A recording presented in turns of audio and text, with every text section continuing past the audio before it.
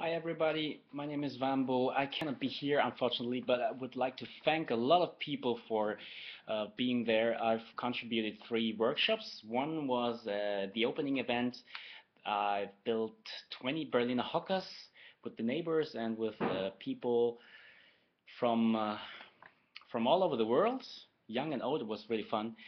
And uh, the second workshop was the one square meter house. I've invented the smallest house in the world.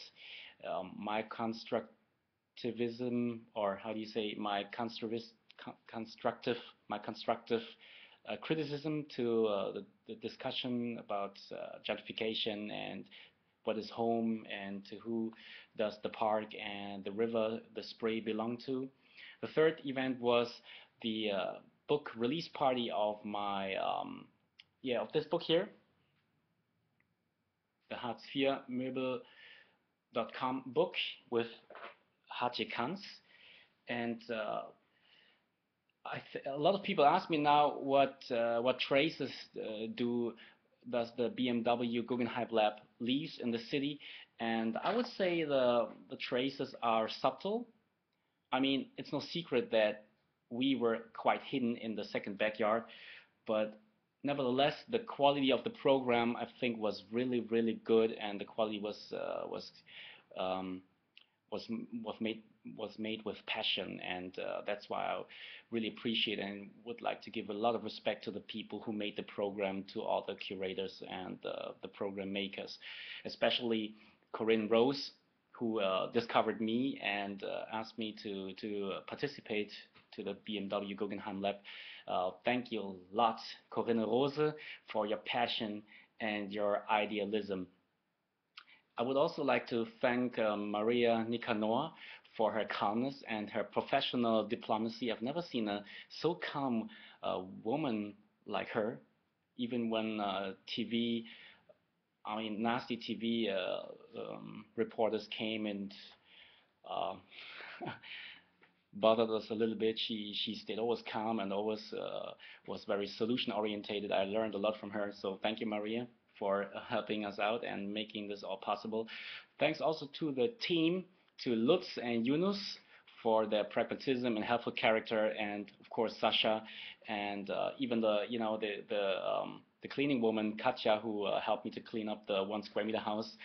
Um, Emal Ghamsharick, a blogger, and the so-called pancake boy, he took, he was the very first person who took the one square meter house um, to sleep in it and to uh, to have an adventure with it in Kreuzberg, Neukölln, and he, he rolled the house uh, through the whole city from Neukölln to Prenzlauer Berg, and when he came back with the house, it was full with graffitis and traces of pancakes. So um, I, I needed a little help of Katja to clean up all this. And uh, so thank you to all these people behind the scenes.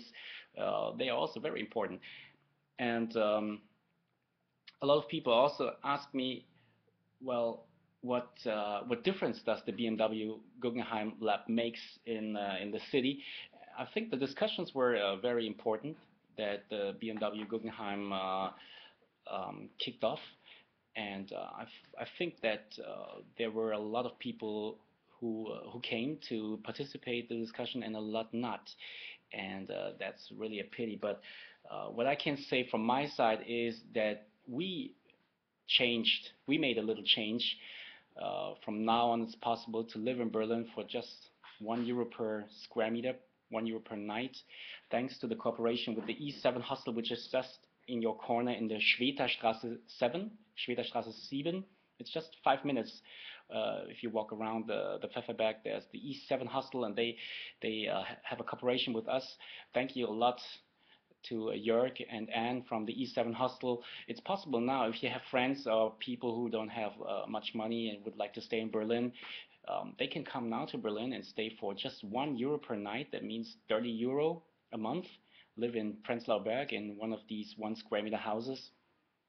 So uh, this is indeed uh, a little change that we made. Yeah, now it's I mean, you can stay here for low money in the heart of Berlin. At the E7 hostel, they provide uh, kitchen and bathrooms, and well, the house is very small, but uh, it's a uh, it's an accom accommodation.